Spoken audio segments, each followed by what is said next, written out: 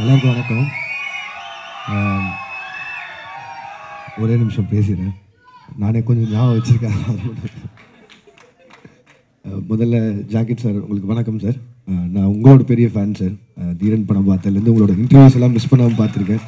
So இன்றைக்கி உங்களை பார்க்க ஒரு சந்தர்ப்பம் கிடச்சதே பெரிய சந்தோஷம் சார். அண்ட் மற்றவங்க எல்லாருக்கும் வணக்கம். அண்ட்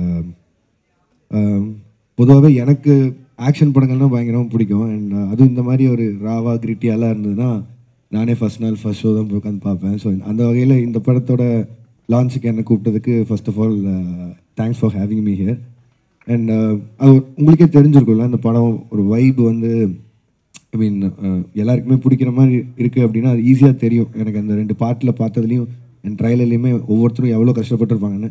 அண்ட் அதுவும் ஒரு ஆக்ஷன் படம் ஷூட்டிங் முடியும் போது பொதுவாக ஹீரோ பயங்கரமாக அடி வாங்கியிருப்பாங்க. அண்ட் அதை தாண்டி மற்ற டெக்னீஷியனுமே கொஞ்சம் அடிக்கடி எல்லாம் பட்டு வீட்டுக்கு வர்றதுக்கு கொஞ்சம் வீட்டுக்கு வந்தால் தூங்கலாம் கொஞ்சம் டைம் ஆகும். அண்ட் அவ்வளோ கஷ்டப்பட்டுருக்காங்க. நூற்றி நாற்பத்தெட்டு நாள்னு எனக்கு தெரியாது. நூற்றி நாற்பத்தெட்டு நாளுங்கிறது ஒரு ஆக்ஷன் படத்துக்கு எவ்வளோ உழைச்சிருக்கணும்.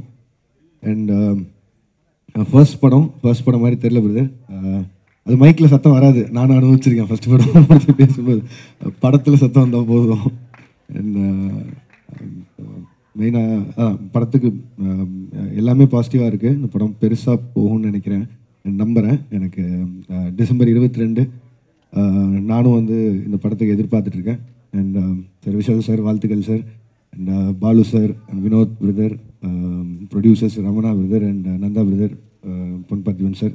And entire team and Yuvan Shankar Raja sir. அவர் வருவார். இன்றைக்கி அவர் கூட பேசுவேன்னு எதிர்பார்த்துட்டு இருந்தேன். அண்ட் அதுவும் நினைக்கல. பட் யா எல்லாருக்குமே cast and crew and team எல்லாருக்குமே வாழ்த்துக்கள் அண்ட் uh, நன்றி. நன்றி.